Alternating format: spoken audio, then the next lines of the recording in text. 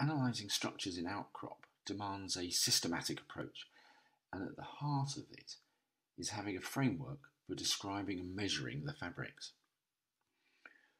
We'll look at two distinct types of fabric and look a little at their geometry in three dimensions, which is, of course, how they'll be encountered in nature. So let's start with something called location fabric, and this is how different grains are organised or located in a rock. Later, we'll look and see what happens if it gets squashed. So let's start off looking at the top one here, which is grain size layering. So this is a location fabric defined by variations in the size of grains in a rock. And we can identify layers of coarse material, finer material, and finer still. And we can pick out the boundary between these layers like this and define the variations between these boundaries, essentially defining a grading from coarse through finer to finer still in the outcrop. And here's another example on a larger scale where we can see alternations through the road cutting here of sandstone and siltstone. So we're seeing the rock organised on the basis of its grain size. Here's another example with grain size variations in a rock made entirely of gypsum. You can see those dark layers which are significantly coarser grained than the lighter ones in the photograph. So this is of course bedding and we've been looking at sedimentary rocks. The term location fabric is purely descriptive. The term bedding is a genetic term which relates to the fact that these are sedimentary. It's useful having a non-genetic terminology when developing a geological analysis we can deduce that the feature we can see in the outcrop is bedding, having first established it is a location fabric. But location fabrics occur in other materials, and we can define them not only on the basis of grain size, but also on composition. Here's an example of compositional layering. It's defined by the different proportions of different minerals in different layers, and this is an example of gneissic banding formed in metamorphic rocks. Here's another example where we're dealing with a location fabric defined by different mineral concentrations in different layers. This is in a gabbro, and there's a special term we would apply to this sort of feature. Having established it's a location fabric, this is cumulate layering. So another example of a genetic term that arises having described the rock using the purely descriptive term location fabric. Here's another example from an outcrop of carbonates in the French Alps. We can see those white bands and grey bands in the outcrop. Let's zoom in. If we're able to analyse this rock, we'd see that the pale material is dolostone, the dark is limestone, so you can see in the top of this view, there's a layer of dolostone sitting on some limestone. And then in the middle is a mixture of both with limestone at the base. In that mixture, if you look carefully, you can see that the dolostone is forming clasts, objects that change in grain size up into that thin limestone layer. So this is an example of location fabric defined both by compositional layering and by grain size. Location fabric relates to how grains are organized within a rock. They can be defined by systematic variations in grain size and or systematic variations in composition or mineral concentrations, again through that rock. So now we can ask what happens if it gets squashed.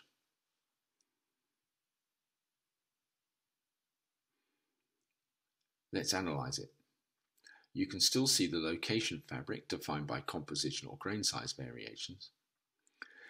But if we look closely, we can see that the grains are aligned. They have an elliptical shape where the long axes line up, and this defines a new fabric aligned along the red line there, and we can recognize that in both situations. This is called shape fabric, and it's defined by the preferred orientation of grain shapes. So here we can see an example where these clusters of white material, which are quartz and feldspar, together with the darker mineral in here, are aligned like this. So that's the orientation of shape fabric. Here's another example from some uh, presumably rocks that started life as breccias, where we can see the clasts are aligned like this. So these are a couple of examples of shape fabric defined by the orientation of the grain shapes. So let's go back to this outcrop where we started. It's from the French Alps. Let's look a little bit more carefully. In the outcrop, we can see a, a, unit which has got which is green and brown where the coin is, and above it are a couple of layers which are fairly distinctive. We can pick out the boundaries between all these, and then having defined these different domains, we can see what forms them. So these are defined by different types of material. So this is the location fabric. The layers that are carbonate are separated by pelite, which is this slaty material, which has got a pronounced flakiness to it. So let's look at the lower contact here, again in a little bit more detail. You'll see there's a two euro coin there for scale. And here's the boundary between pelite on top and carbonate below. Look at the pelite and you can see that it's got this irregularity picked out by these red streaks now. So there's a there's a fabric in there that is wavy or a crenulated fabric. In the carbonate below there is no crenulation fabric. This is interesting because our two rock types here deformed in different ways. So different layers have different deformation fabric and so the deformation is enhancing the location fabric, making it easier for us to recognise. Here's another example from southwest Wales. This is all limestone. But some parts of the limestone have picked up a shape fabric and they are the slightly more broken components. Other parts which don't have the fabric look more intact and the boundaries between those are running like this. So the location fabric is being enhanced by the shape fabric. Consequently, the deformation is allowing us to see bedding, the location fabric, in these limestones more easily. Here's another example, perhaps more classic, which is a sandstone siltstone couplet. We can see the location fabric running across there, which is bedding, and the shape fabric below, which is actually a cleavage formed within the finer grained siltstones below, but not in the sandstone on top. Well, location fabrics like bedding are generally planar features, and you might also think that shape fabrics are also always planar. Cleavage here is a plane too. But let's think about shape fabrics in three dimensions. And in order to do that, we should think a little bit about dimensionality. So, in describing linear and planar fabrics, let's consider this. Situation two is what we generally consider sheets, so bedding planes, cleavage planes. They form a foliation. But of course, objects don't have to be sheets, like pieces of paper. They can also be linear, like pencils, in which case the fabric is linear and the structure is called a lineation. Or they can have no preferred orientation at all, in which case statistically the objects are spheres or balls.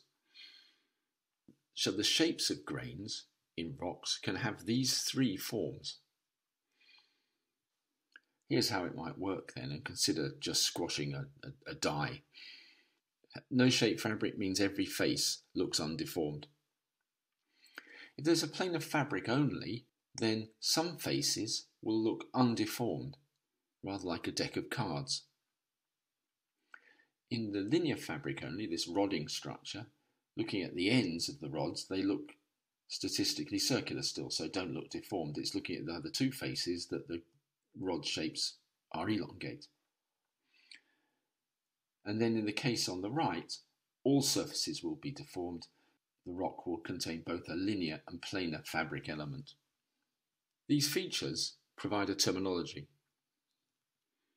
These types of rocks are called tectonites. S stands for schistosity, or planar fabric. L stands for lineation.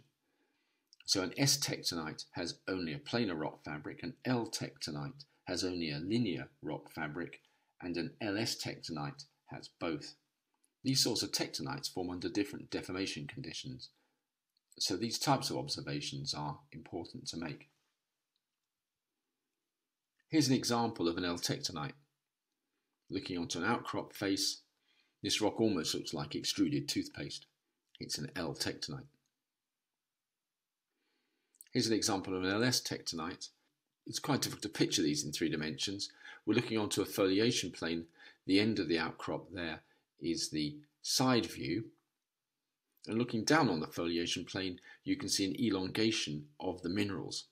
So this has got both a planar fabric, which we're looking onto, and on that planar fabric, the minerals are streaked out. So it's also got a linear fabric. So this is an LS tectonite. It has both linear and planar fabric elements. In terms of measuring these, the schistosity, a planar fabric, can be measured as a plane, so we'll have a strike and a dip. A linear fabric will be measured as a line, so we'd have a plunge and a plunge direction and an LS tectonite, well, you'd measure both. So we have a systematic framework now for describing the fabrics we find in outcrop do not require us to jump straight away to a genetic set of terms. These terms, location fabric and shape fabric, are entirely descriptive, so it's a good way to start. Location fabric defined how different grains are organized in the rock defined by grain size variations or grain type variations. Shape fabric simply defined by the preferred orientation of the long axes of grains in the rock. Deformed rocks commonly contain both a shape fabric and a location fabric. So we have a strategy for discriminating between these now. And it's the application of these terms and approaches that allows a geologist to embark on unravelling the structural history of outcrops like this one in the Alps.